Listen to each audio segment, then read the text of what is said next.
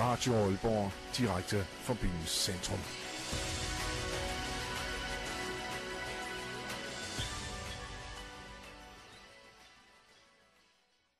Klokken er blevet 16.00 her på Radio Aalborg, og det er tid til torsdagsbar med Siv og Anders. Og jeg skal sige dit navn først, fordi man skal sige damerne først, er det ikke rigtigt? Det er nemlig fuldstændig korrekt. Lidt opdraget har du fået gjort mig. Ja, på et år. Snart et år.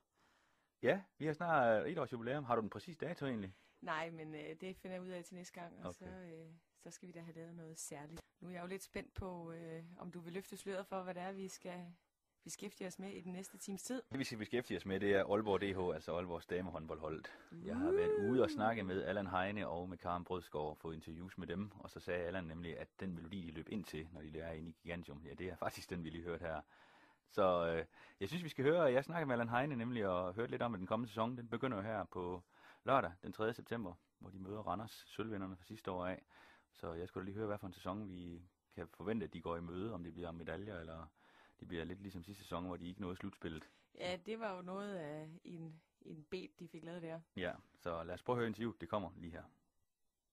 Så står vi sammen med træner Allan Heine. Velkommen til. Tak for det.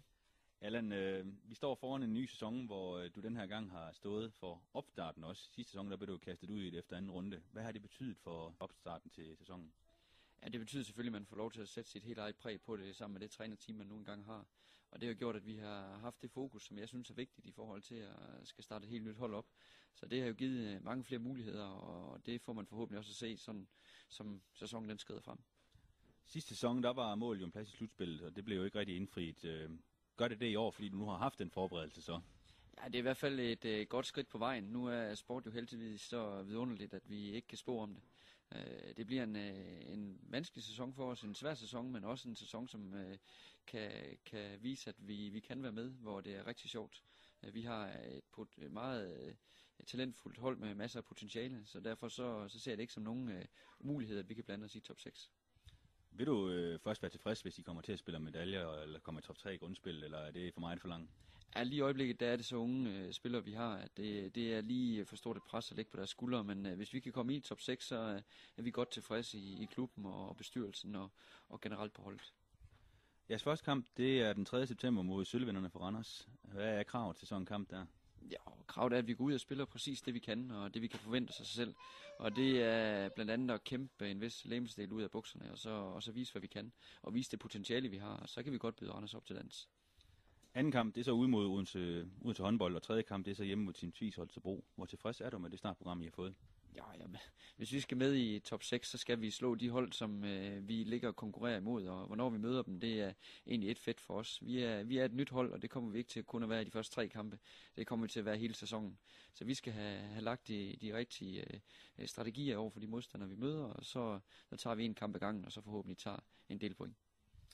I spillede en træningskamp for noget tid siden mod Viborg, hvor I taber 39-26. Øh, er der stadig et stort spring op til både dem og Randers og Midtjylland? Ja, det er nogle hold, der er noget stærkere end vi, og så en stor midtergruppe, der ligger der. Men den kamp, den øh, skal man så også huske på, at, at vi har en del spillere siddende ude, øh, og derfor så er det måske et lidt skævt billede, man får af den kamp, men, men der er lige i øjeblikket et, et stor forskel på, på Randers, Viborg og FC Midtjylland.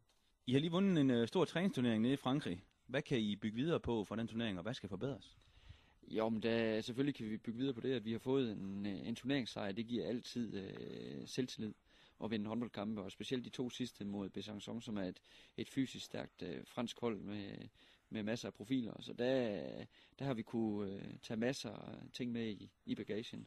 Og, og selvom at, at vi gjorde det godt, og der var masser af positive ting, så er der også en masse ting, vi skal arbejde med. Men det, det er jo bare dejligt at have noget at, at arbejde med. Øh, ellers skulle det være lidt kedeligt at gå på arbejde dagligt. I sidste uge der snakkede vi med Aalborg han, herrehåndbolds uh, træner Jacob Vestergaard, og vi spurgte ham ind til de der talentfulde teenager, som de havde, der netop havde vundet U19-verdensmesterskabet. Og han sagde, at det var stadig lidt for tidligt til, at de kunne gå ind og blive en uh, vigtig del på holdet, fordi deres fysik blandt andet, og selvfølgelig også erfaring, ikke var stor nok. Hvorledes ser det ud med jeres unge spillere? Har de en større mulighed for at blive en uh, dominerende faktor allerede som teenager, fordi at fysikken på kvindesiden eventuelt er anderledes? Ja, det har de absolut. Vi har masser af, af unge talenter, som i denne sæson skal tage et stort ansvar, øh, hvis vi skal op i, i den ende, hvor vi gerne vil være og, og indfri vores målsætninger. Så, så de får helt naturligt en stor rolle, og, og hvis vi kigger en, en eller to sæsoner tilbage, så har de også allerede haft en rolle der. og nu har de fået et år mere på banen, og nogle af dem to. Så, så det giver jo endnu større rolle og, og endnu større forventninger fra, for os i klubben, men også fra folk rundt omkring. Sidst du var i studiet, der havde du øh, Stine Jørgensen med, som du fortalte var en stor og talentfuld spiller, og du snakkede om, at hun var et spørgsmål tid, før hun kom på landsholdet, og det er jo sådan sket nu. Kommer hun så til at bryde igennem fra talent til stjerne i år på holdet? Ja, det tror jeg faktisk, hun gør. Øh, hun har spillet øh, fantastisk i vores øh, træningskampe og har vist, at hun kan bære det hold her. Øh, og jeg har store forventninger til Stine, og det ved hun også godt.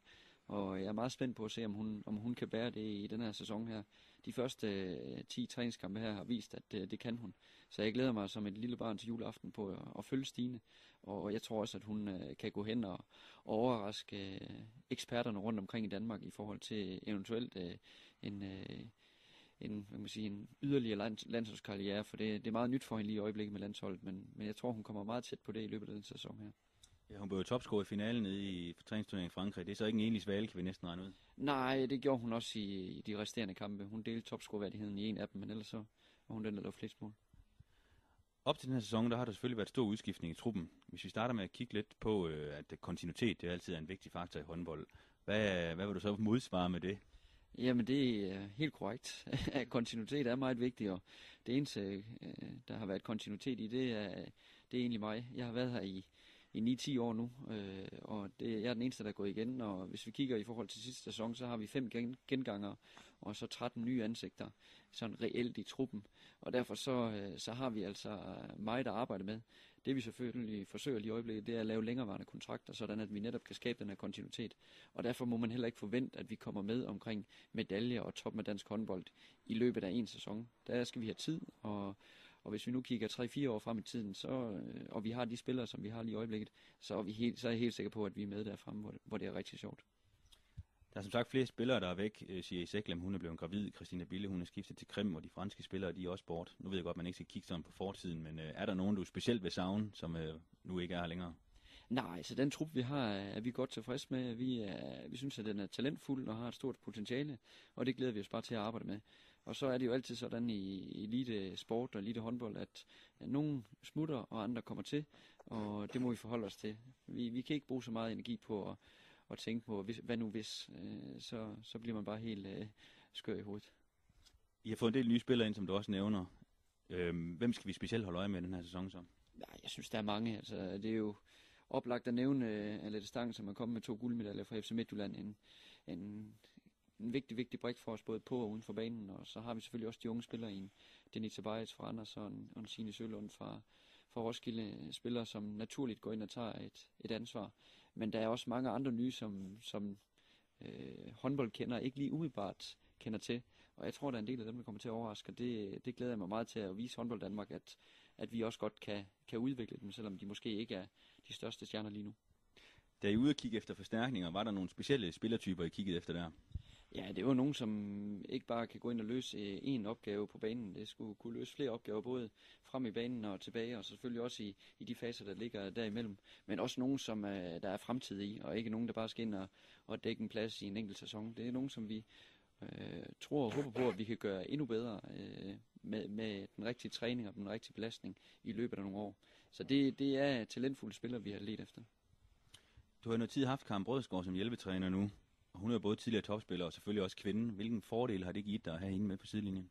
Ja, men det er jo selvfølgelig rart at have en, en person som Karen med, der har prøvet en masse ting som spiller, og, og måske har en lidt anden tilgang og synsvinkel på det, hvor jeg har den mere teoretiske baggrund, og knap så meget spillererfaring, så, så har vi matchet hinanden godt. Og dertil så har hun en, en fantastisk personlighed oveni, så det giver jo bare en, en masse god kemi og, og forståelse for hinanden, når, når det er, at vi forsøger at få det bedste frem i spillerne. Søren Pedersen, ham snakker vi også med ude for Aalborg Herrehåndbold, da vi var ude sidst. Og han er jo faktisk blevet øh, målmandstræner hos jer. Hvordan er det samarbejde opstået? Jo, men det er sådan, at øh, Søren han kommer fra Thy-området, og det samme gør vores øh, direktør Lars Steffensen. Og, og da vi stod og manglede uh, øh, målvogtertræner, så, så gav det næsten sig selv, at, at det var en mulighed. Og øh, da jeg så havde en dialog med Søren om forskellige ting, og hvordan tilgangen kunne være til de her målvogter, så var jeg ikke et sekund i tvivl om, at han kunne være med til at, at udvikle de målvogter, vi har i klubben. Kommer der til at blive et yderligere samarbejde, måske mellem Aalborg håndbold og så Aalborg DH? Det kan jeg ikke svare på på nuværende tidspunkt. Næsen valgt af Aalborg DH's træner, Allan Heine. Vi spurgte ham nemlig lige ad, da til interviewet det var overstået, om hvad for en sang han bedst kunne lide, og så valgte han faktisk den her. den tror jeg ikke, Aalborg DH de løber ind til, men øh, den hører han nok hjemme i hjemmet. Så er det i hvert fald lidt lundetrav. men øh, som du kan høre, Allan Heine, en snak med ham igen. Du har mødt ham før selvfølgelig. Ja. Han har store forventninger selvfølgelig til den kommende sæson. Og de unge hold, de har derude. Ja, det bliver spændende at se, hvordan de får spillet sig sammen derinde med så stor udskiftning, ja. som du også var inde på. Så planen er selvfølgelig, at vi skal ud og holde lidt øje med dem, og så på et tidspunkt senere på efteråret, så får vi ham ind igen og høre, hvordan det han synes, sæsonstarten har været. Ja, men vi ved jo også, at de er meget, meget glade for alle deres fans, de har derude, og det virkelig hjælper til at motivere alle spillerne. Så det er bare med at finde ud i gigantshowen, når der er hjemmekampe, og hvis man også har lyst, så kan man jo også gå ind og finde, finde kampprogrammet inde på Aalborg DH's hjemmeside. Yes. Udover at snakke med Allan Heine, så snakkede jeg også med hans hjælpetræner, Karen Brødskov. Hun har jo været hans øh, hjælpetræner, som sagt, i et halvt år, mens Allan faktisk har været der, han nævnte det ved selv i 10 år jo. Så jeg skulle lidt nysgerrig at høre, hvordan det var at få sådan en tidligere topspiller og en kvinde med ude på sidelinjen, om det gav nogle øh, andre, ja, hvad kalder man det, hvilket ord søger jeg, Siv? Refleksioner. Ja, men det giver jo også nogle andre muligheder, og hvordan de også udfordrer hinanden, Ja. tænker jeg, internt. Og det var jo en øh, charmerende dame, åben og glad og ja, lige til. Så det var en stor fornøjelse at snakke med Karen Brødskov, så jeg synes næsten, vores lyttere skal have lov at høre det. Det kommer lige her.